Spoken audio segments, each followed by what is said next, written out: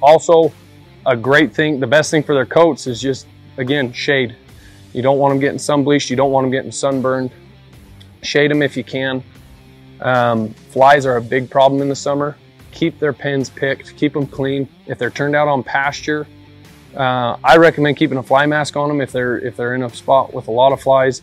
It just it, a fly mask isn't necessarily going to going to help their mane and tail, but it's going to help the, the mentality and the personality of the horse. They get really overly bugged. Their temperaments change when they're always fighting flies, as as we do. If you've got flies landing on you, it's frustrating.